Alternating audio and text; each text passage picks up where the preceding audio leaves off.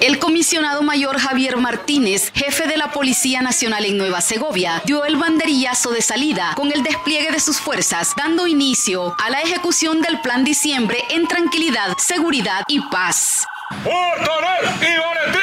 Nosotros los hijos de Sandino luchamos cada día.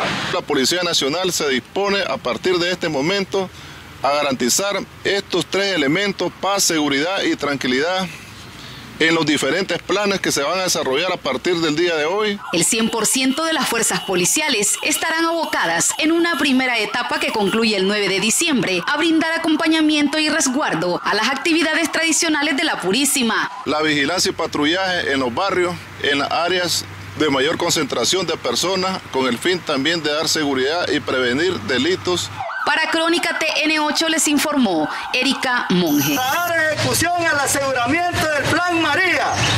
320 efectivos más 50 medios darán cobertura a las celebraciones marianas en los siete municipios del Caribe Sur. Eh, esta mañana, verdad, está dando inicio al plan de aseguramiento especial a las actividades en honor a la Purísima Concepción de María, que es la patrona de Nicaragua.